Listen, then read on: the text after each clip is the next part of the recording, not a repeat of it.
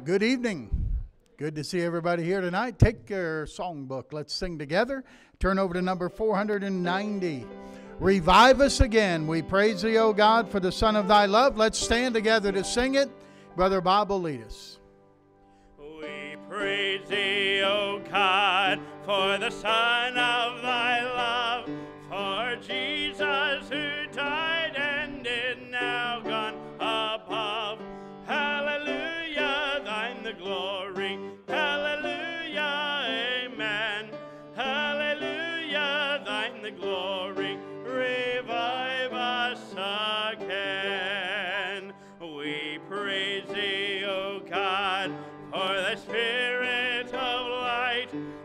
shown us our Savior and scattered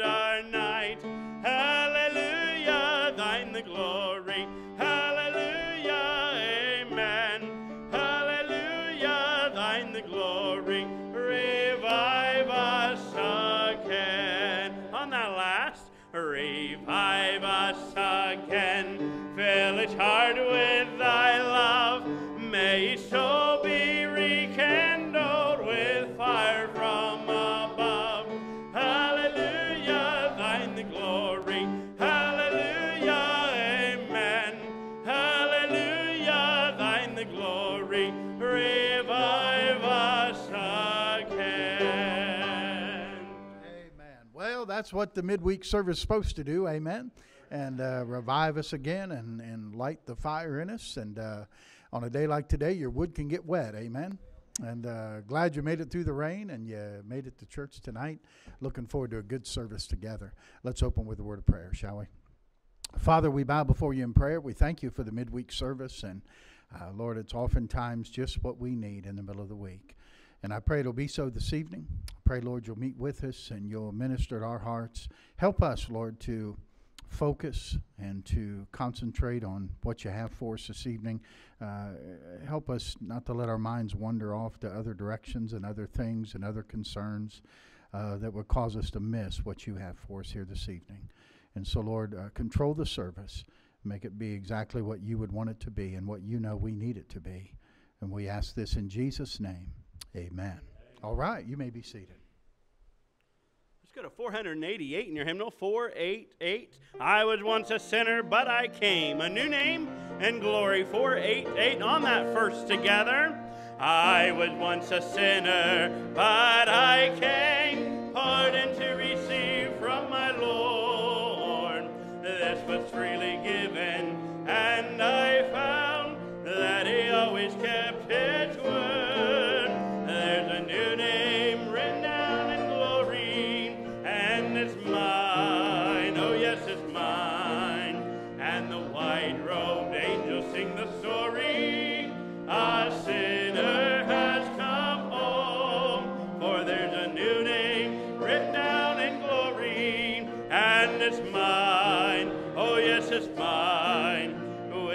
With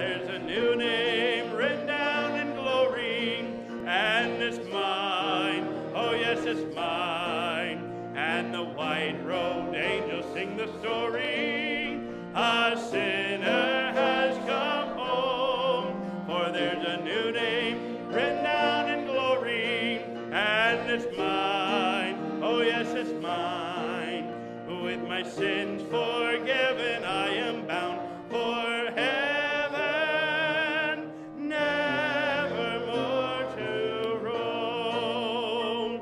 In the book book 'tis written, saved by grace. Oh, the joy that came to my soul. Now I am forgiven,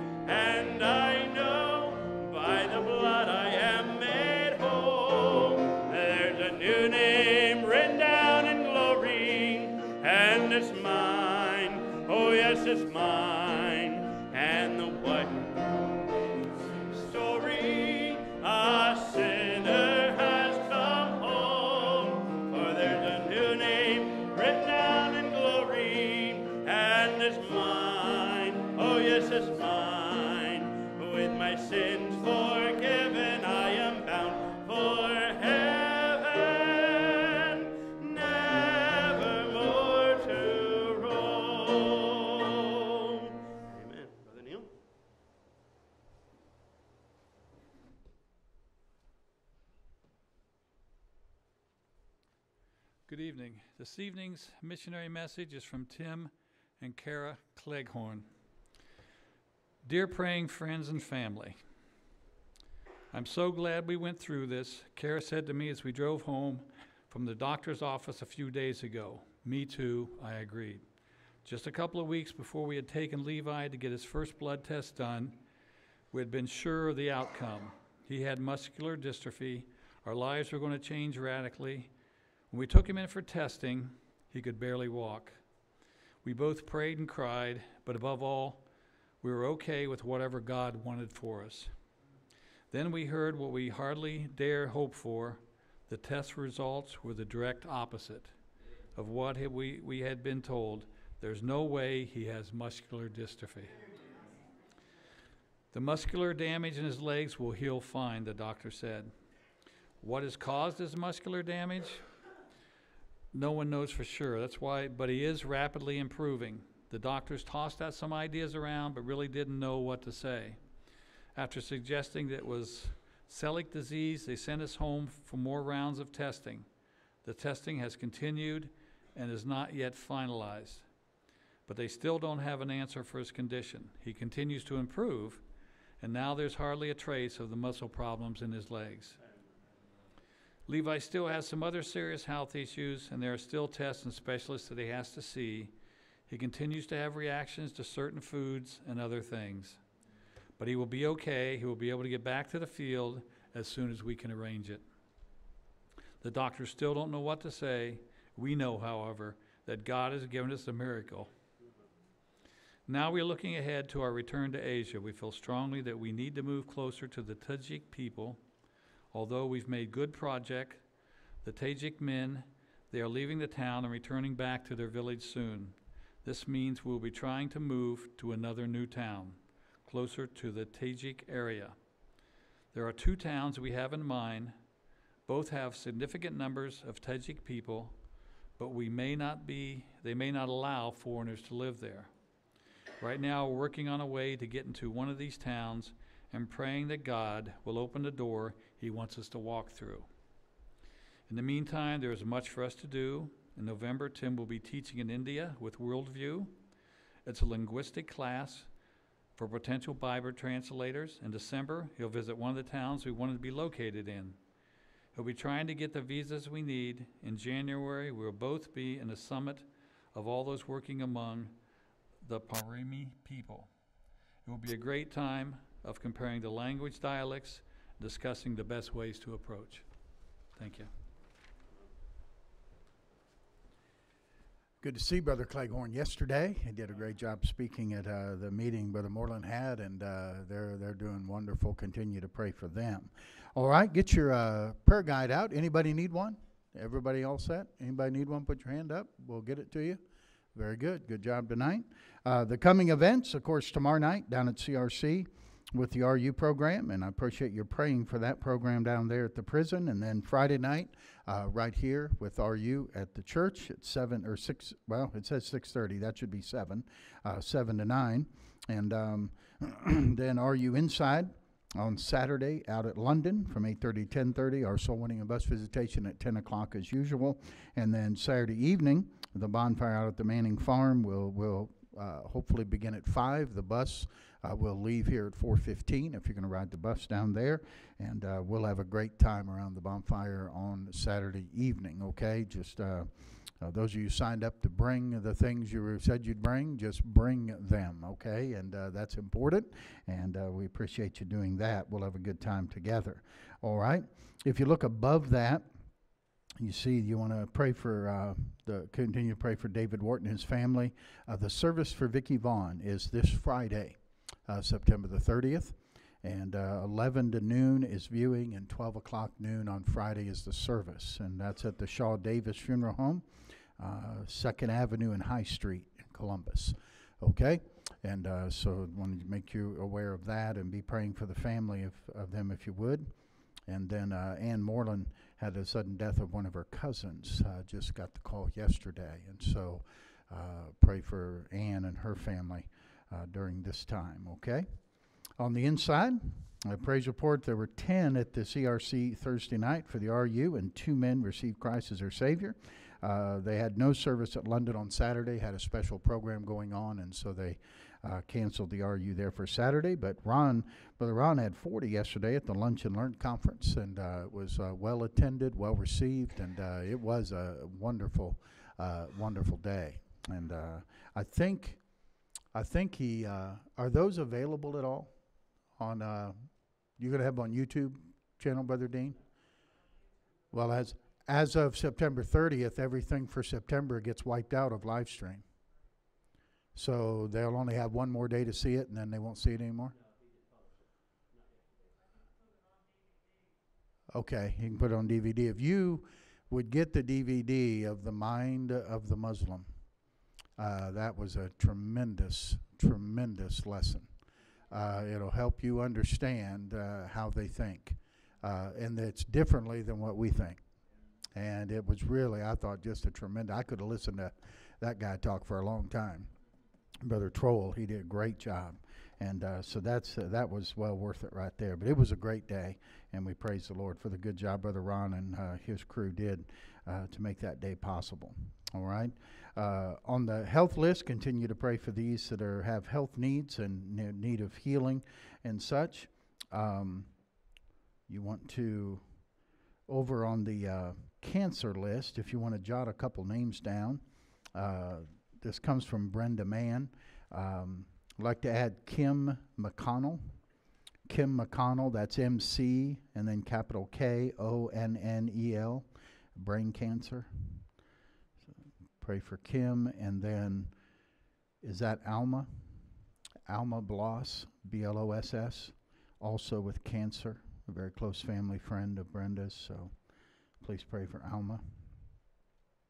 And then do you have Jim on the salvation list? No? Okay. You want to add underneath salvation Jim Mann, Brenda's husband.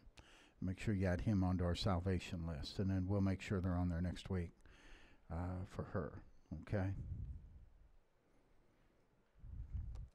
And of course, pray for the, those in authority and the upcoming election that's just about two months away. I'll be praying for God to work His way and have His will in that matter.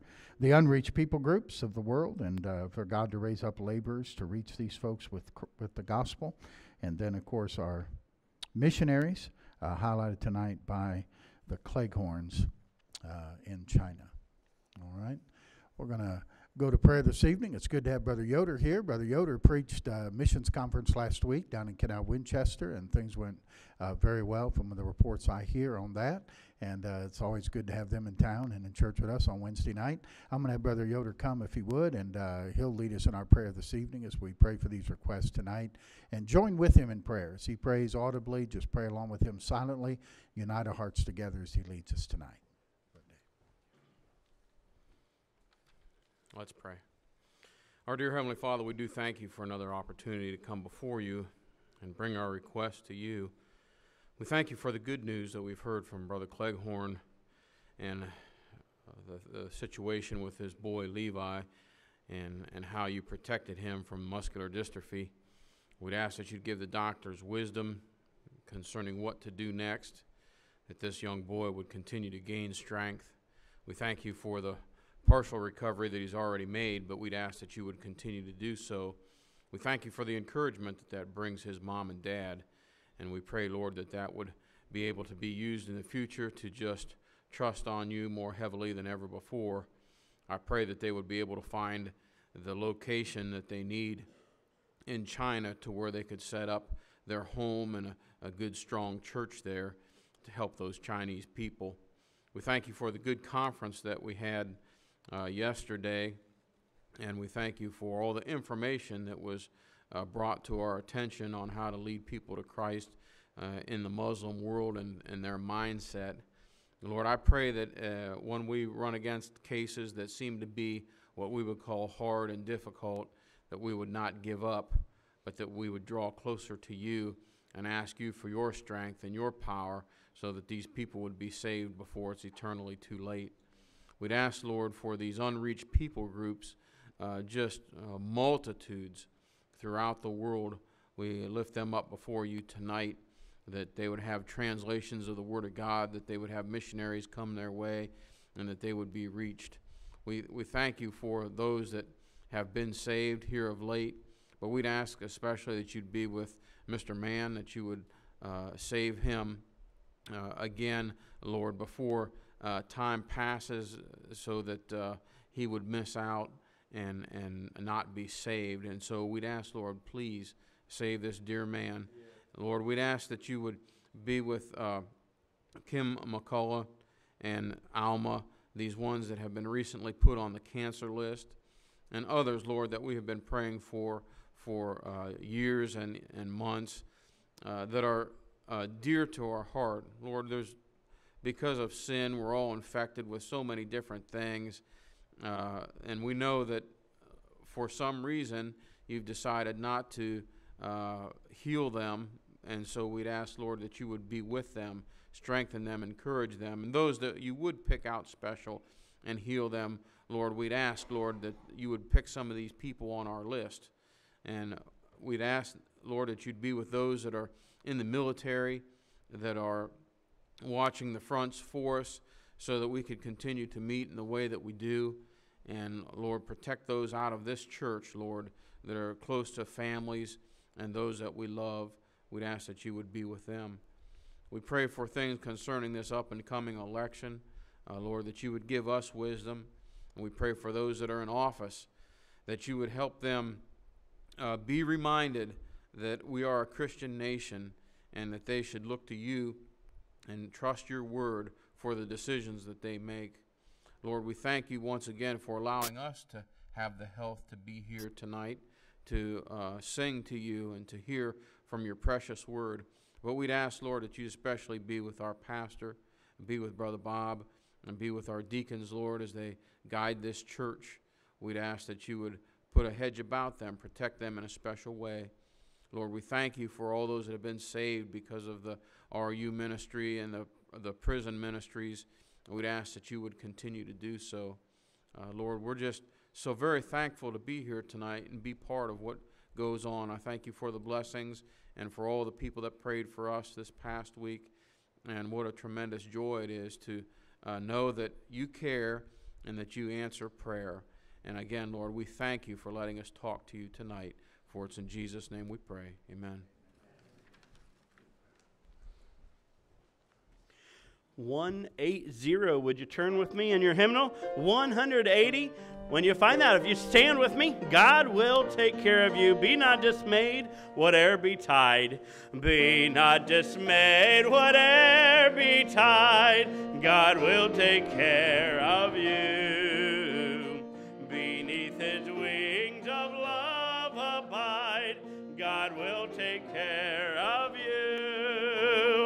God will take care of you through every day or all the way. He will take care of you. God will take care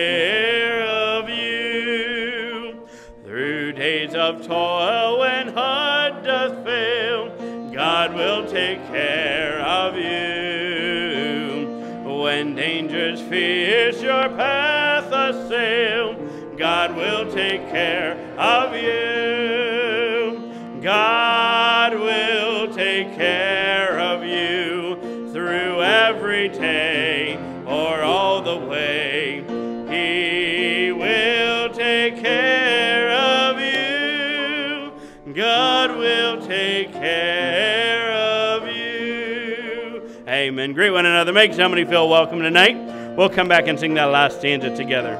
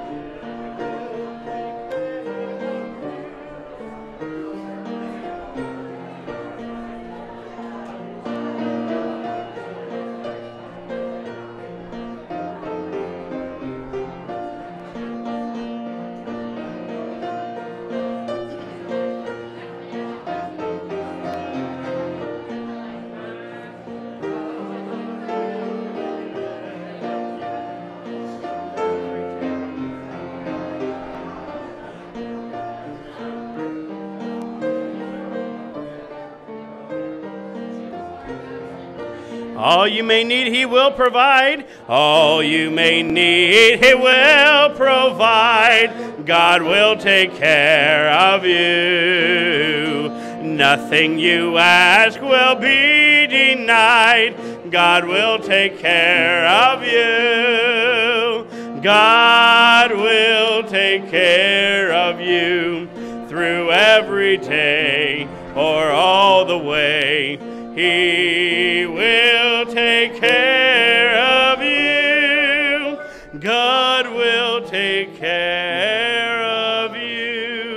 you. That last together. No matter what may be the test, God will take care of you. We'll have Lisa drop out when we get to that chorus, and we'll sing that a cappella. On that last together, no matter what may be the test, God will take care of you. Lean, weary one upon his breast, God will take care of you. God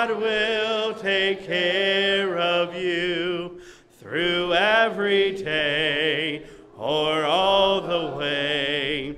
He will take care of you. God will take care of you. Everybody said? Amen. You may be seated. Ushers are coming to get our offering tonight, and uh, I do want to say uh, it's been great to have Brother Hector and his family here, and uh, they've been such a blessing to us. Uh, all uh, thanks to the Van Sickles and the uh, Jimenez family and uh, some of the Moreland family. All of these chairs were cleaned, steam cleaned uh, on Monday, and taken care of. And they did all 100 and think 60 of them, and so they they worked long hours and uh, got it done. Uh, appreciate so much their their servant's heart, willingness to serve and to do that. And uh, it was nice for yesterday's meeting, and uh, it's nice tonight too. You can uh, believe me when you could see the ones they'd done and the ones that hadn't been done yet, you could tell the difference. And uh, it really is. They did a great job. Appreciate that. And pray for Brother Hector and them. They're traveling on to the east tomorrow. They have a meeting Sunday in a church, I think, near Philadelphia, uh, Pennsylvania. So uh, pray for safety for them as they travel. They got other meetings they'll attend and before they head back out west. And uh, El Paso is their home. And uh, that's where they live. And uh, so be keep them in your prayers if you would, all right? And uh, let's pray for this offering this evening. Oh, I wanted to tell you, last week we took the offering for the Philippines, for the RU in the Philippines. I think we got $159 towards that 250 So we're only about $100 short, $90 short or so. And so we'll put tonight's offering towards that as well. And then uh, the RU is going to be taking it every Friday night throughout October to take care of their uh, their church to help uh, get that church in the Philippines started with RU. $250 and they can start RU uh, in the Philippines. They have between 750 and 1,000 churches that are ready to go. The government has asked the church to help them with the drug problem. Uh, that's probably what Ohio ought to do and Columbus ought to do as well. And um, 35 overdoses in the last 24 hours in, uh, in Columbus uh, two deaths, and 27 times they had to use the Narcan to bring somebody back, and um, or Narcan or whatever it's called. Um, it's uh, it's it's a serious serious problem, and uh, we've we've got the answer, my friend. And uh, the answer isn't something; it's someone, and it's Jesus Christ. And so. Uh, let's pray for the offering tonight, all right? Father, thank you for the privilege to give, and thank you, Lord, for your goodness to us. And thank you, Father, for a great salvation that you provided for us through Jesus Christ our Lord. Bless the offering tonight. I pray, Lord, that we'll be able to help uh, these churches get started with uh, reaching the addicted there in the Philippines. And Lord, that you'll help us to continue to reach the addicted here in our area. And Lord, I pray that folks will understand that there is hope, and their hope is in Christ alone. So, Father, bless our giving tonight and use it for the furtherance of the gospel, not only here, but around the world. In Jesus' name, amen.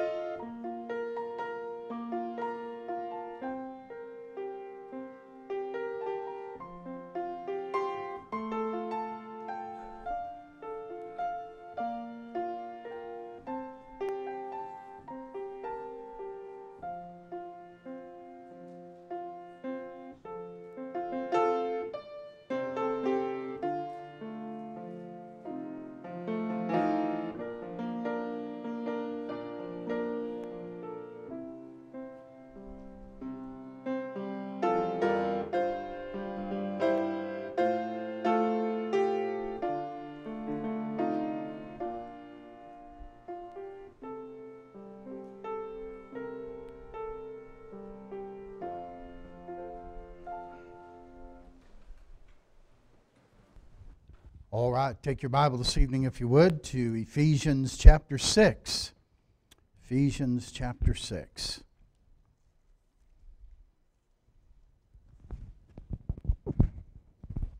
Ephesians 6. Look with me, if you will, at verse number 10, where the Bible says, Finally, my brethren, be strong in the Lord and in the power of his might. Put on the whole armor of God, that ye may be able to stand against the wiles of the devil. For we wrestle not against flesh and blood, but against principalities, against powers, against the rulers of the darkness of this world, against spiritual wickedness in high places. Now, Father, we bow before you tonight as we come to the preaching of your word. And I pray, God, that you would help us this evening as we open up the only book you've ever written and study it together. And I pray, God, tonight you would give uh, help to each of us. Lord, we, we need you this evening. We want you to give us clarity as we look at this important subject of battling the devil and battling our opponent. Lord, give us the help us get to understand just how that should take place and what methods we should use. I pray, Lord, you'd help me to communicate the truth this evening and help the people to be able to listen and to receive it tonight. Holy Spirit, do what only you can do in our midst here this evening. And I'll thank you in advance for what I believe you'll accomplish tonight. And I pray and ask it in Jesus' name. Amen. Talk about spiritual warfare, continuing to talk about this. Does this sound right? Is it okay? All right. Might be my, my ears playing tricks on me. It doesn't sound quite like it normally does. When, when God is leading us, when we're, as the Bible would say, led by the Spirit, okay, then we'll act right and we'll think right and we'll feel right. Now, uh, the order there's important. Feelings don't come first, feelings come last. Feelings are nice if you have them, but we don't live by our feelings. We live by what is right and by what the Bible says. But I tell you this when you reject the leading of God, when you reject being led by the Spirit, you will act, think, and feel much differently. And I think most of us could testify to that as well. But I want, to, want you to understand, I believe the Bible teaches that when you are a born again child of God, and, and I, I, I, use that term born again child of God like there's some other kind of child of God, but there isn't. Uh, if you're a child of God, you've been born again. Uh, there's no other way to become a child of God. And so you have to be, once you're saved, I, I believe the Bible teaches that Christ dwells in our heart by faith that he takes up residence along with the person of the Holy Spirit of God uh, in our body. And for that reason, a believer cannot be possessed by a demon. All right? Uh, the, in, in Ephesians 6 and verse 12, when the Bible talks there about uh, principalities, powers, rulers of darkness of this world, spiritual wickedness in high places, he's, he's talking about the demonic um, hierarchy, if you will, government, if you will, of what the devil has. He has a kingdom. He's the king of that kingdom, but then underneath him, he'll have generals, if you will, and underneath him will be commanders, if you will, and underneath him, them are soldiers, if you will, and they're all uh, carrying out uh, his orders. And so we, we, we face a mighty host of the enemy. But that host cannot possess you as a believer. Now, let me define possession. The word possession means this held by a lawful title, occupied, enjoyed, affected by demons or invisible agents. So, held by lawful title, occupied, or enjoyed. And, and the Bible makes it clear that we are the purchase at salvation, we're the purchased possession of Jesus Christ. And we are, Ephesians 1, verse number 13, sealed with the Holy Spirit of promise. Uh, we've been bought with a price. uh, the Holy Spirit becomes, we, our bodies become the temple of the Holy Spirit, uh, 1 Corinthians 6, 19 and 20. So we know that we're His and He lives in us. And where the Holy Spirit occupies us and Jesus Christ, as Colossians 1, by faith dwells in our heart, that's not where the demon can dwell. He's not going to share space with the Holy Spirit. It's an impossibility. All right? So we're not going to be uh, possessed by Jesus and possessed by demons. That's an impossibility. But you have to ask yourself what do you say? What do you say to somebody who constantly battles feelings of inferiority, thoughts of suicide, always hearing voices telling them they're a loser, that they'll never measure up as a husband or as a dad, or as a wife, or a mother, or even as a Christian. When they tell you they've prayed, they've fasted, they've memorized Scripture, studied the Bible, but those ideas and uh, those thoughts, those accusations, those voices never let up on their paralyzing grip on their life. Do you tell them you just need to rest? You need to pull back on everything you're doing? Do you tell them that it's a chemical imbalance? Do you tell them, oh, you're in voices in your head, you must be schizophrenic?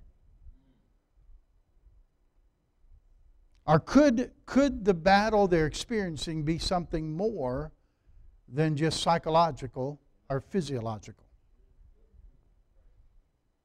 The question inevitably that comes to the forefront when someone's struggling with that is could this be demonic? And usually, before that question comes, these words come out. Now, I don't want you to think I'm crazy. I don't want you to think that I've, I've lost it. Or, you know, I've never told anybody about this before, but do you think? And then the question comes. And by the way, it comes from those who are in church and those who are out of church, those who say they know Christ as their Savior, and those who do not know Christ as their Savior.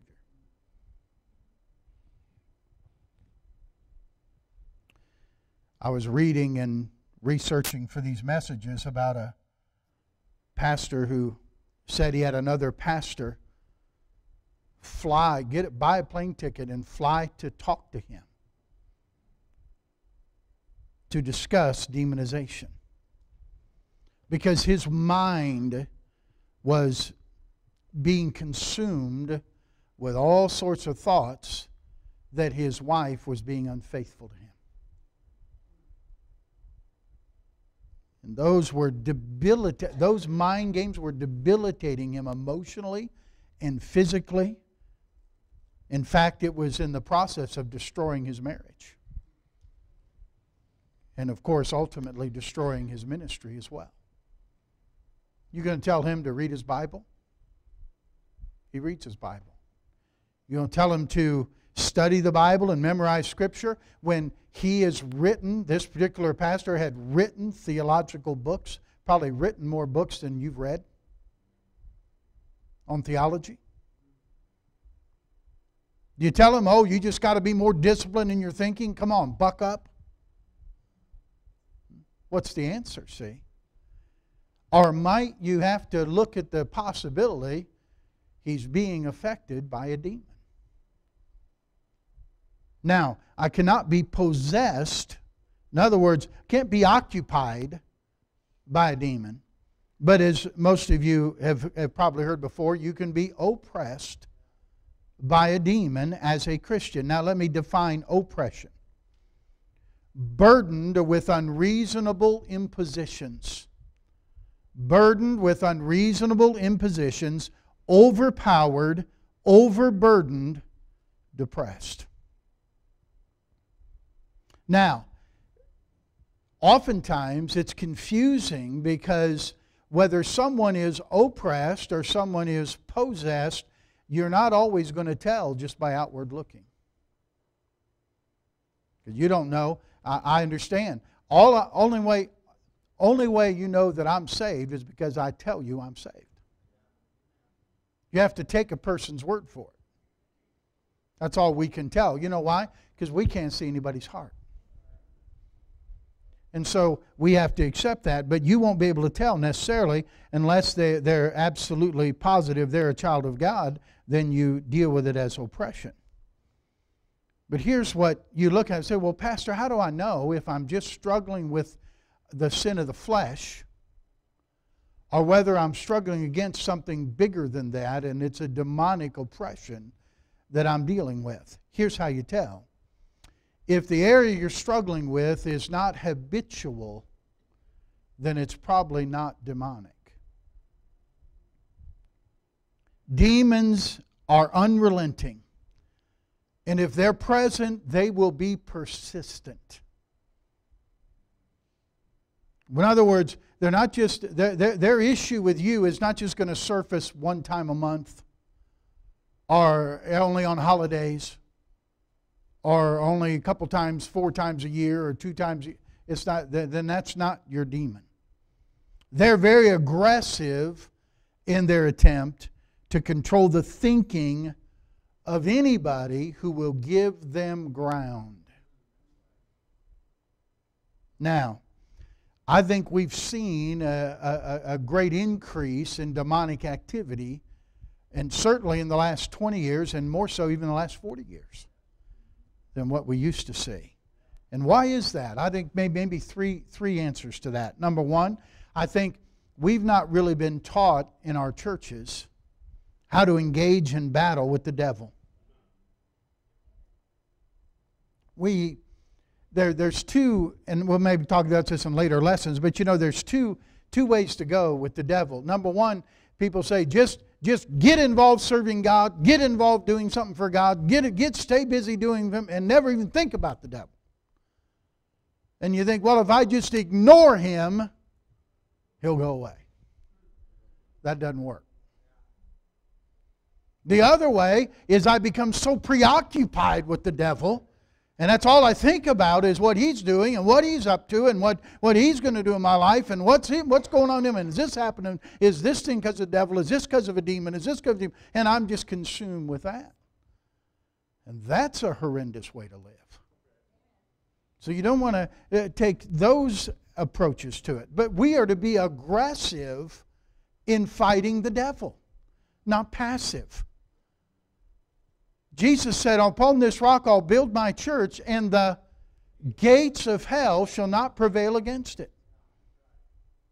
Gates are there to keep people out, they're defensive.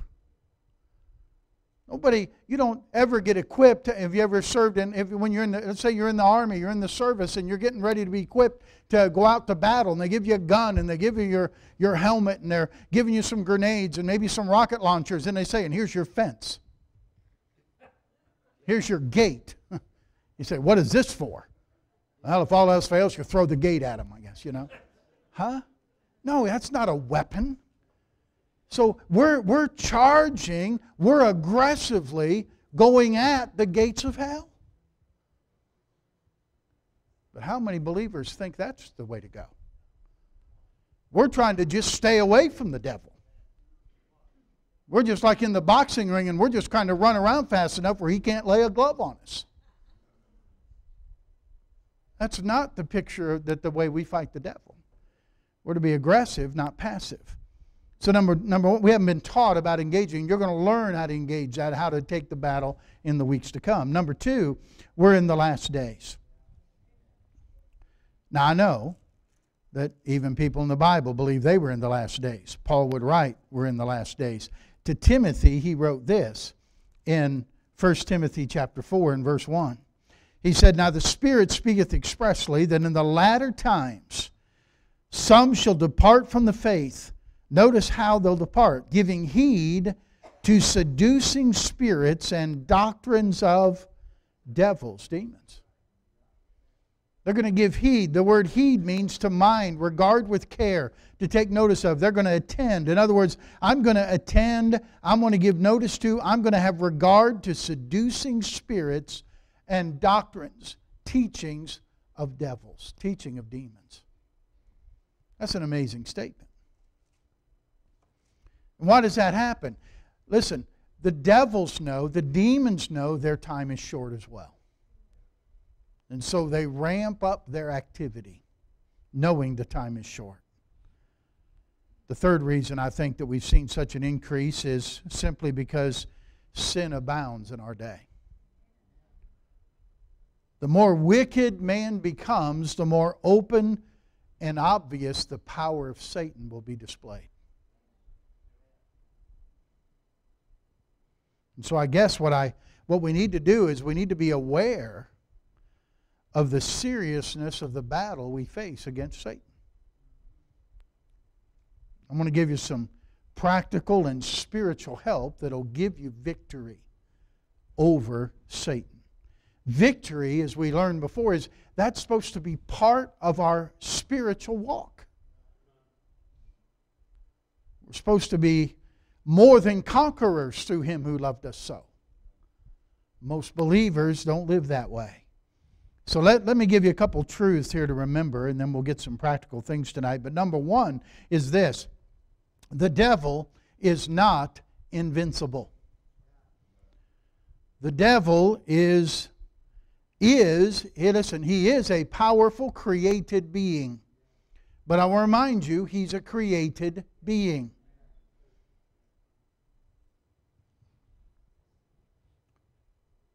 He is powerful, he is not all powerful. We have the, he's a created being of God. There's, in the beginning was God. In the beginning was the Word. The Word was with God, and the Word was God. The same was in the beginning with God.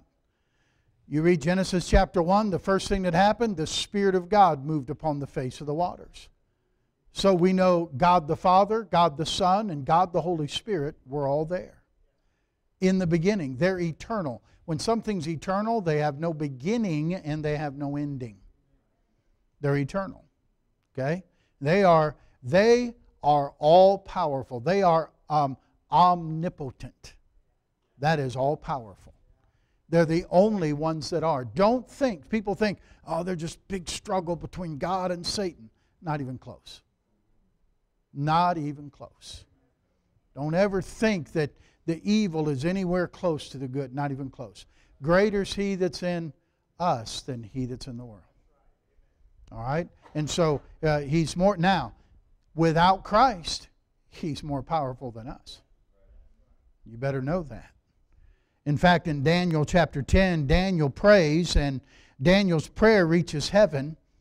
But you read it in Daniel 10, it takes three weeks for that answer. That God, as soon as God heard Daniel's prayer, he answered it. He sent his angels, which are the ministering spirits sent forth to do God's will. He sends that angel to answer Daniel's prayer, and it took him three weeks to get back to Daniel. What happened? He met Satan. And, and he was hindering that prayer from getting back to Daniel. And there was a there was a fight going on between the ministering angels and Satan. In fact, Jude 9 tells us that even Michael couldn't defeat Lucifer but and Satan, but he said, "The Lord rebuke you." The Lord rebuke you.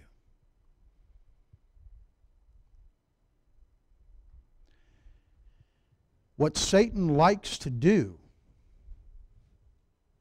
his favorite, one of his favorite lies is to tell you he's too powerful for you. That you are no competition for him. And, and, and his demons are too powerful for us. And listen, people, Christians, believe him. And they accept that. How do we know that they accept that? Well, I, I tell you, we talk to people, obviously, uh, with stubborn habits and addictions. And when I when I share some of the things, by the way, when I share some things I'm going to share even tonight, some of you in this room, you're going to sit there and think, ah, I tried that before, that won't work. No, I've done that. I, am unique. My situation's not like that. I did that stuff. That ain't going to work.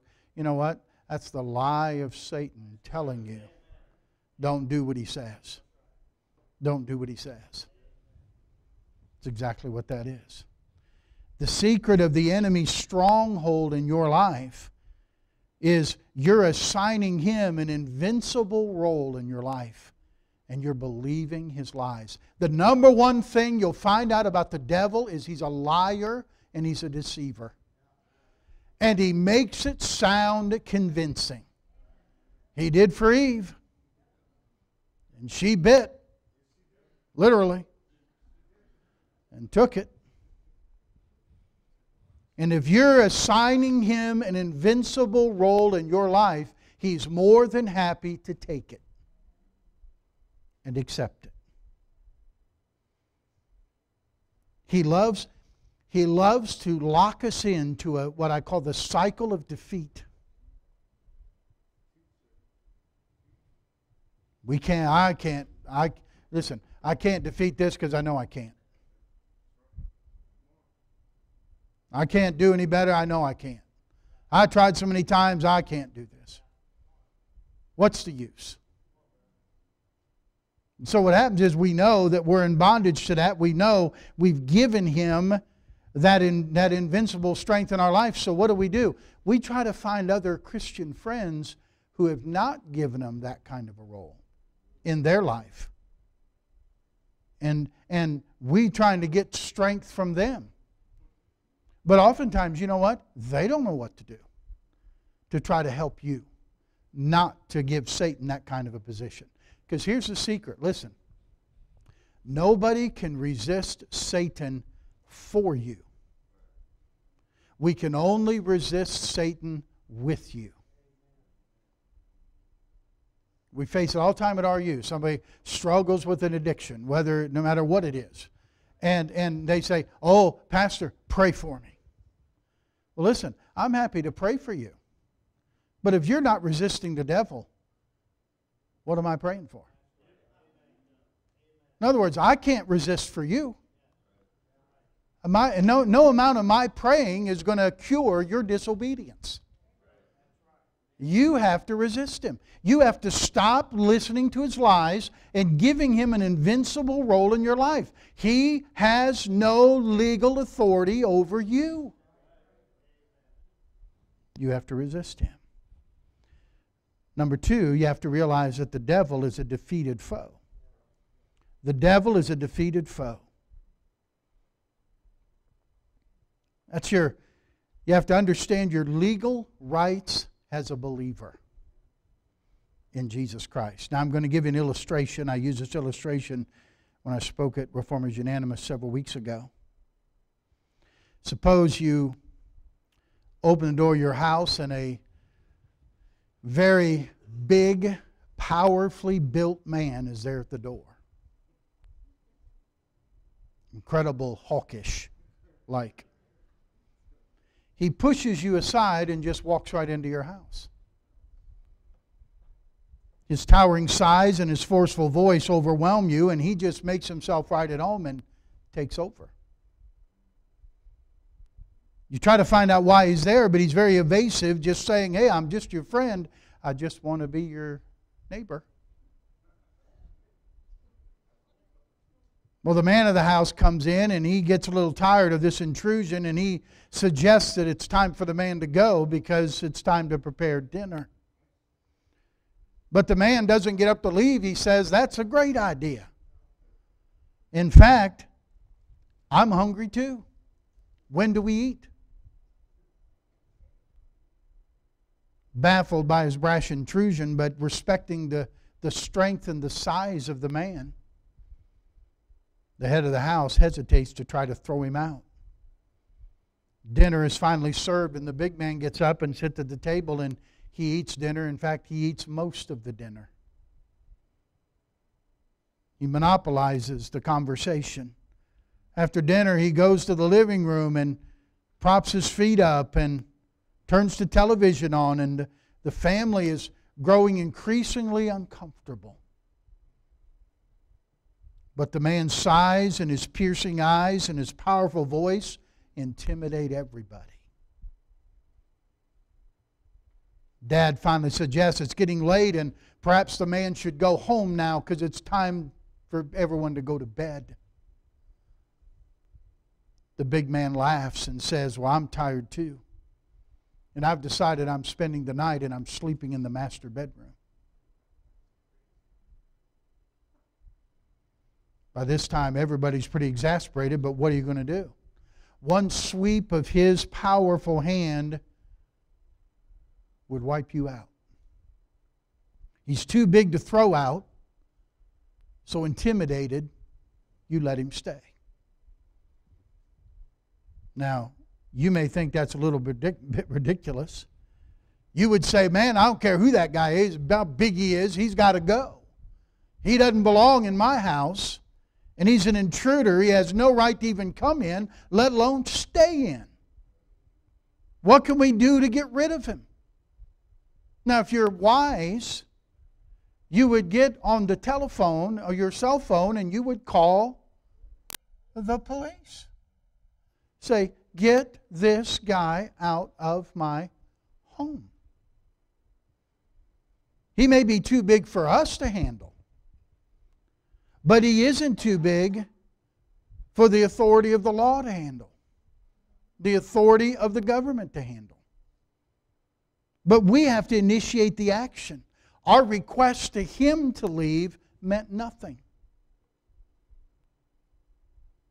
Our threats only make him laugh because of his size and his strength. He'll stay forever. He'll stay forever if you never appeal to a higher authority. Do you get it? The strong man is Satan. It's a demon. Satan, let me say, not only when we talk about not being invincible, he's not all powerful, he's not omnipresent. Satan's not ever, that's why he has all these armies of people, armies of spirits, evil spirits, that carry out his bidding.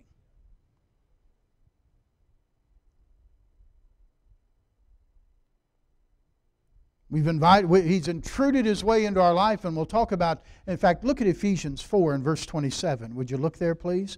Ephesians 4 and verse number 27.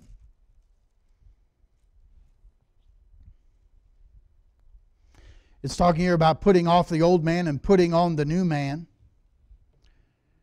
And in verse number 27, it says, Neither give place to the devil. The word for place is foothold. When, when you or I believe a lie of Satan and I act upon that lie with some kind of behavior, then I give ground to him. I'm giving him a foothold in my life. I'm allowing him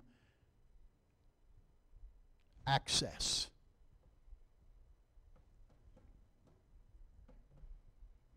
And once we've opened the door to Satan through a particular sin, by we talked about yielding to one of the works of the flesh. We open the door for Satan to come in. You know what? He'll intrude his way in and he'll make himself at home. And he'll laugh when you try to tell him to leave. He'll convince you that you're weak. He'll point out your sins and your failures. Remember, he is the accuser of the brethren. Does it say false accuser? No. He accuses us, and the things he says are true. We get intimidated by him, we get guilt ridden because of our sin, and we finally conclude, well, he must be right. And now he begins to control us. Control our thoughts, our actions, what we, what we think, what we feel, what we want.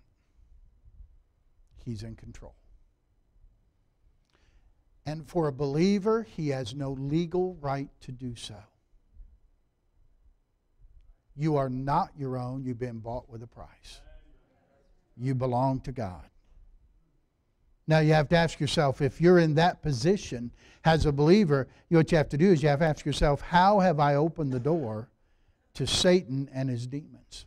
How, how, how, have I given Satan a foothold to gain access into my life? There's a, I'm going to give you a list of things that Satan has used to gain a foothold into people's lives and turns it, listen, once he gets a foothold, he'll turn it into a stronghold. He'll be in, and it'll be, you, you will not easily get him out. Ouija boards, astrology horoscopes. I'm talking about Bible believing Christians that open up a newspaper or go online and read a horoscope. Bible in the Old Testament, when it talked about astrologers or necromancers, you know what God said to have them do? He said, You put them to death. That's how, that's how serious that was in God's eyes. How, how awful it was. Horror books. Your authors like Stephen King and that ilk. Same would go, by the way, same would go for watching those kind of things. This zombie stuff and dead, walking dead stuff. Rock and roll music, heavy metal music, hip hop music. Of course, alcohol and drugs, yoga, seances, mediums, psychics, palm readers tarot cards, hypnosis. Why would I why would I let someone else take control of my mind? What a dangerous thing that is. Sexual immorality, pornography, violent video games. These are all things that that, that people who have come under the oppression or possession of demons have openly stated and openly known this is where it started. This isn't just a list the Baptist preacher compiled. This is, these are people who've experienced it. They've been through it. Indications that someone is being controlled or overpowered by a demon. Cutting self mutilation. You remember the fellow in Mark chapter 5, the maniac of Gadara, they called him? He was always in the tomb running about, yelling and doing what? Cutting himself. That's why, that's why, is it, you know, it's in, that's why God said back in the book of Leviticus, you're not going to make any markings in your skin for the dead. You're not going to, when, when, why is it that when you look at the, the, the crowd of the rock and roll and the hip hop and all the people into the rock music that is so full of demonic control and demonic oppression, and they're all have cuttings in their skin. Oh, they make them look pretty because they fill them with ink. But there's cutting in their skins. Self mutilation, extreme feeling of loneliness, hatred of yourself hatred of others, irrational anxiety and fear.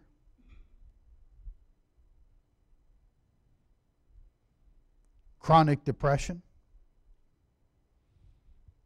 dramatic mood swings, irrational rage,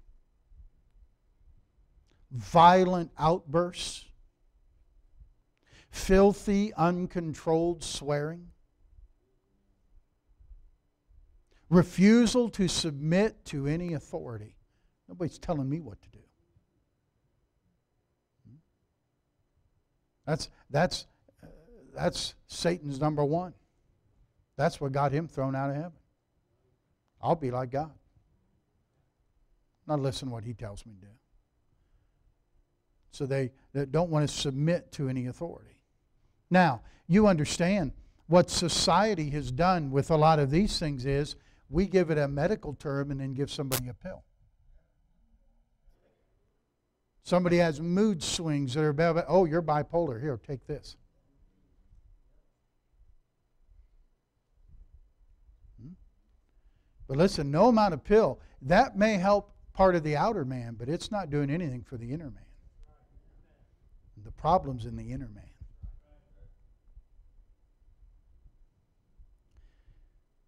In Ephesians 4, there it talks about the putting off the former conversation, putting off the old man and putting on the new man.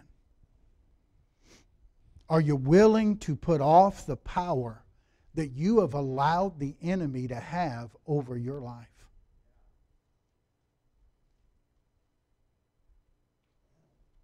We've, you've listened to his lies for so long, you now believe them to be truth.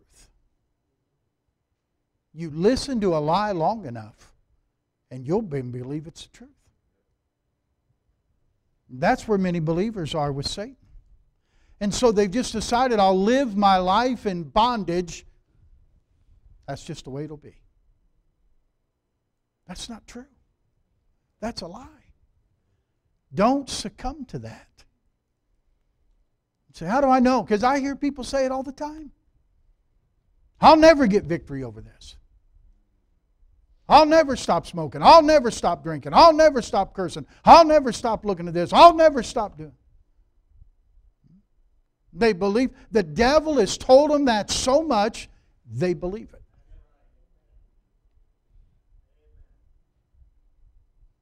We hear it in RU. You know what they say? Oh, I never memorize all this stuff. My, my brain, you know, it just it just is you know, there uh, are too many brain cells blown away, you know, by my life I lived, you know. Well, wait a minute. Who, who made you? Yeah. I wish, I wish when, when on Friday night, if you ever come, you see that table set up with all that curriculum on it and all these books that have been written by a fellow who spent 10 years doing drugs. I wonder if he'd have just said, Well, I burn up so much my brain, I guess I can't do anything.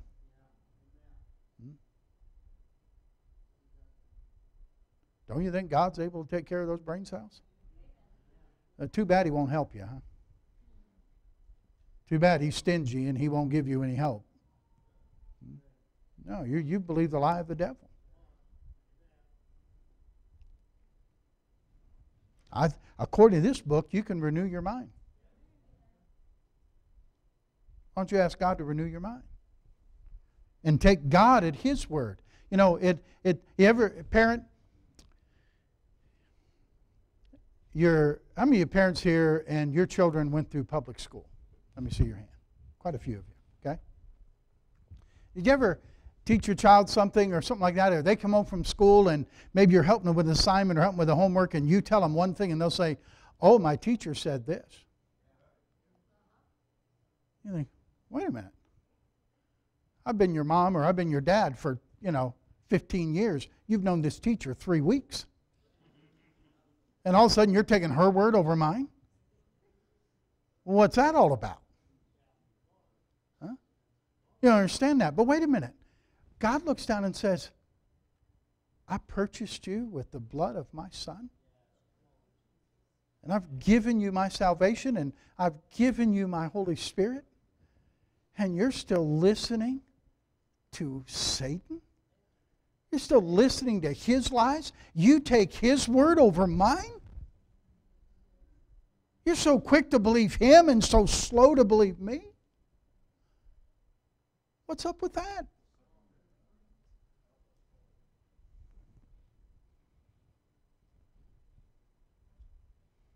Said that Satan, I think we started out saying, number one, Satan is not invincible. We said he's a defeated foe. We said number three, did I say number three, defeated? No. Did I open the door to Satan and his demons? And then number four, I want you to do this. I want you to understand your position in Christ. Understand your position in Christ. Look at Colossians chapter 2. Galatians, Ephesians, Philippians, Colossians chapter 2. Remember remember Ephesians 6:12? Principalities. What's the next thing? Powers, rulers of darkness of this world, spiritual wickedness in high places.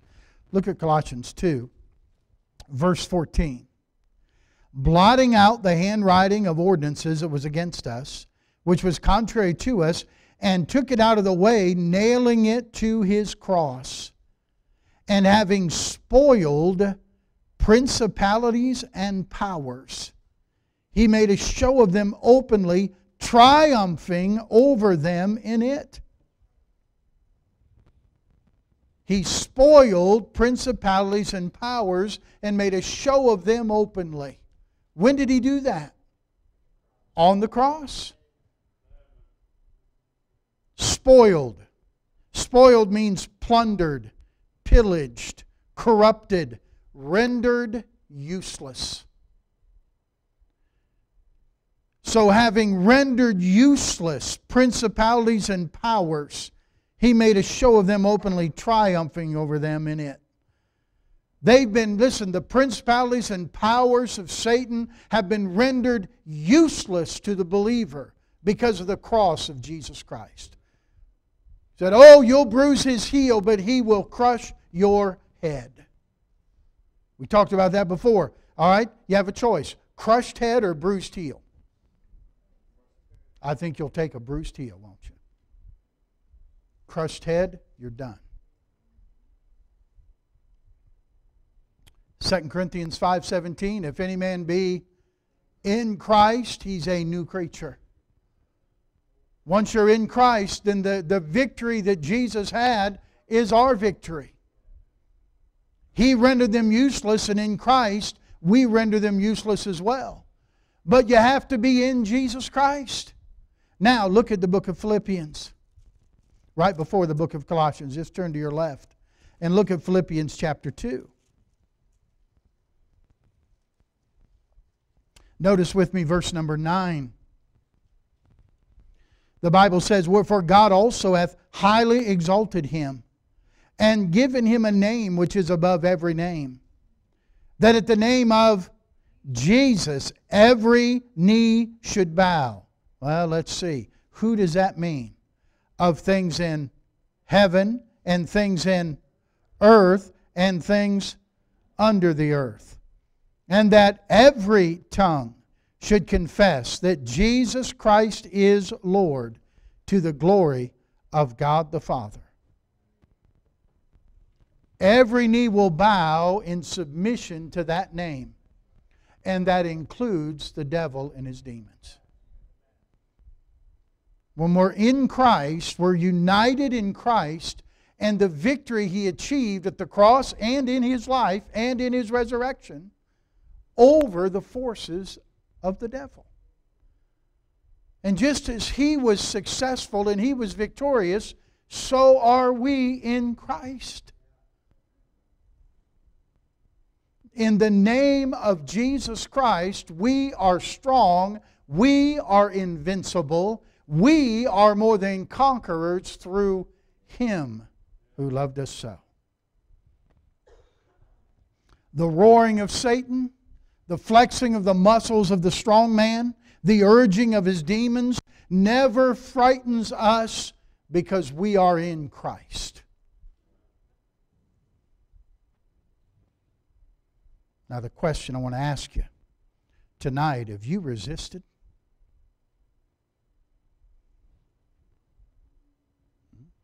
Are you are you willing to rebuke and stand against demonic forces in your life? I mean, ones you've allowed to be there. Some of you tonight, what you need to do is you need to stand against those demonic forces. Some of you need to go home and clean out some of your music list. Some of you need to go home and clean out the DVDs. Some of you need to go out and clean out the bookshelves. You have things in your home that you're allowing Satan to have a foothold and even a stronghold in your home.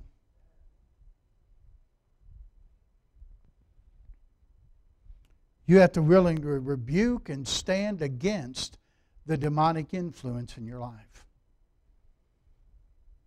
Are you willing? Are you willing to call on the authority of Jesus Christ?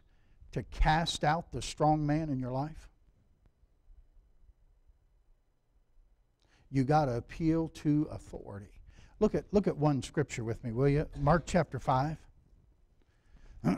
Mark chapter 5. This is the maniac of Gadara.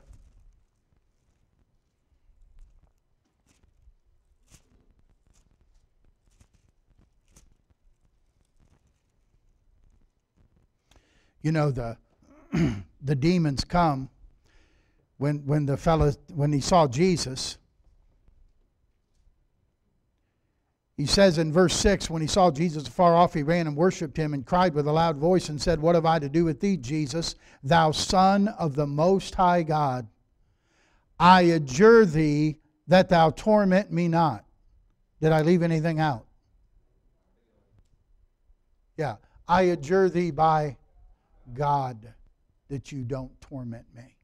Why would they adjure Jesus by God? The head of every man is Christ, and the head of Christ is God. He's appealing to his authority. They understand authority. They don't like it, but they know how it works. And they knew if they just said something to Jesus, that carries no weight at all. But they're saying, by God, don't torment us yet. What's your name? Name is Legion. We're many. And he besought him that he would not send them away out of the country. And of course, the devils besought him, saying, Send us into the swine, we may enter into them. And again, they're doing this request by God. They're appealing to Jesus' authority. When you stand against a demonic influence in your life as a believer, you must appeal to the authority of Jesus Christ. I stand against you in the name that is above every name, the name of Jesus Christ, the name that every knee shall bow and every tongue will confess that He is Lord.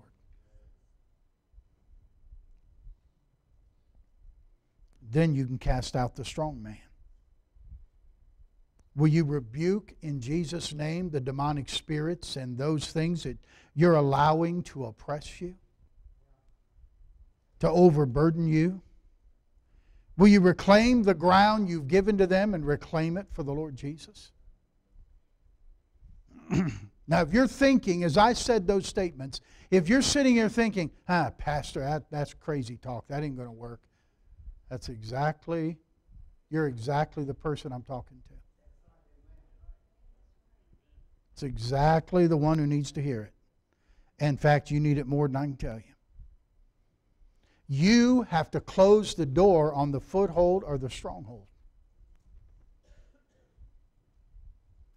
We did not know when we moved into our home 10 years ago.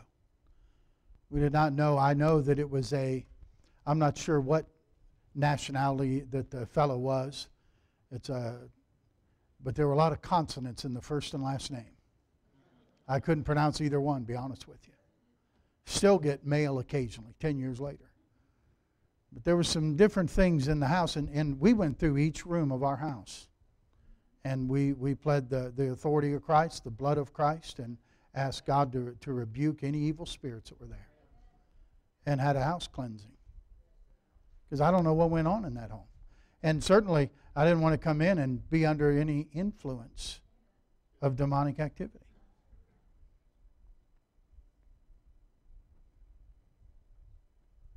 when you've resisted, you've rebuked, you repent of the sin, and God forgives you, and you recapture the ground that you've given up, then you need to bind that evil spirit in the name of Jesus and send them away.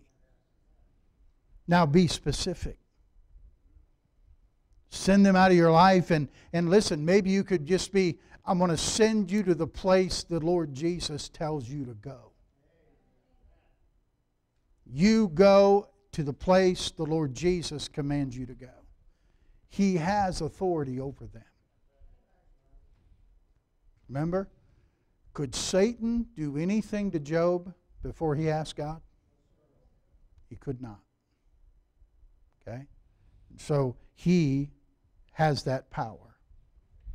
Now, if you're still at Mark chapter 5, do you notice something? This man, now notice this man. Look at verse number 3. He had his dwelling among the tombs. No man could bind him, no, not with chains because he had often been, had been often bound with fetters and chains, and the chains had been plucked asunder by him, and the fetters broken in pieces, neither could any man tame him. And always, night and day, he was in the mountains and in the tombs, crying and cutting himself with stones. What a happy guy. No, miserable guy. And don't, don't think they were being mean to him, trying to put fetters and chains on him. I think they were trying to help him. They're trying to get him where maybe they could do something for him. But that's, listen, that's all they knew to do was try to do something to the outside of the guy. But the problem wasn't on the outside, it's inside. So why does why does Reform Reformers Unanimous have uh, uh, like 85% or 92% success rate of those who complete the program? You know why? Because it's not working on the outside; it's working on the inside. It's getting to the root of the matter. You're not just dealing with the symptoms; you're dealing with the root problem. After Jesus bid the demons go and they went into the pigs and by the way, what happened to the pigs when the demons went in them? Yeah, suicide. Yeah. They they were immediately, hey, destroyed. You know what the devil will do if you let him stay in your life? He'll destroy you. Kill, steal, and destroy. But people hear about it. They come back out to see what's going on. Verse 14 They that fed the swine fled and told in the city and in the country. They went out to see what it was that was done. And they came to Jesus and they saw him that was possessed with the devil and had the legion of demons there. The legion, you know what it says? Sitting and clothed and in his right mind. And then, amazing statement. Then they were afraid. I'd have thought, don't be afraid of that guy anymore. But what a change, huh? What an obvious difference. What a calmness. What a peace now. I, am sure this guy thought, man, I thought I'd never feel this way again. Because I thought there'd never be any hope for me. They, they tried for years to help me. Nobody could help me. I'm sure Satan told him, You're done, man. You'll die out here. Until he met Jesus one day. And he allowed Jesus, the higher authority, to rid him of those demons. What a difference that makes. Oh, you want that peace, don't you? I talk to people with, in the Friday night program, and by the way, I, I could probably talk to just as many church people that aren't at RU on Friday night, but ought to be. Who would say the same thing? You know what you've done? You've just, you've just settled that I'm going to live this way the rest of my life. It's just the way it's going to be. It doesn't have to be that way. It doesn't have to be that way. You can sitting, clothed, in your right mind because you're sitting with Jesus. We'll talk next week and we'll continue this a little bit about four keys to getting victory over Satan and we'll we'll go through some things that'll help you with that next week. All right? Let's stand together for prayer, shall we? Heads are bowed and eyes are closed. I'm going to pray in just a moment. But I think it's appropriate for tonight.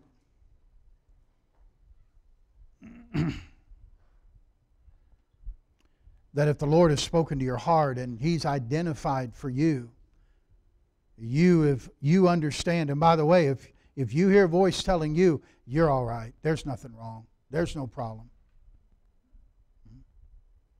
You better make sure what voice is talking to you. A demon, that, that, that demon that's oppressing you, that one that you've allowed to control your thinking, you know what? He's telling you, you're fine, don't do anything. If you're here tonight and you say, Preacher, God has identified some things for me, and uh, tonight I am going to stand against demonic influences in my life. I am going to rebuke them in the name of Jesus Christ. On the authority of Christ to send them out of my life where they belong. I will reclaim that ground for Jesus. Maybe it's house cleaning when you get home and taking care of those things. I don't know what all it will involve, but you'll say, I'm going to take the steps I need to be free of that evil influence in my life. Pastor, here's my hand tonight. Pray for me this evening. Amen. Amen. Amen. God bless you. You may put them down. Father, I pray for these folks this evening. Lord, I, I realize there's many in this room that you have ministered to their heart tonight. Lord, they now know, they have the knowledge what to do. Give them your grace, your, your sufficiency for their insufficiency, your power for their lack of power, to do what they ought to do. God, I pray. Some people tonight, by the time they pillow their head, would have that peace of God that passes all understanding. That calmness again in their life where they know that you're in control. They've, they've cast out the strong man. You've cast him out. Bind him and send him to the place of your choosing help each and every individual to have the victory you desire us to have. The victory that you have and that we have because we're in Christ. We love you, Lord. Dismiss us now with your care. Help us to be mindful of your presence with us at all times. Lord, may we point others to you this week. It's in Jesus' name we ask it. Amen. Amen. Let's sing higher ground. All right, I'm pressing on the upward way. New heights I'm gaining every day. Let's hear you sing. I'm pressing on the upward way. New heights I'm gaining every day. Still praying as I'm onward bound. Lord, plant my feet on higher ground. Lord, lift me up and let me stand faith on heaven's tableland, a higher plane than I have found. Lord, plant my feet on higher ground. God bless you. You're dismissed. Choir, come right.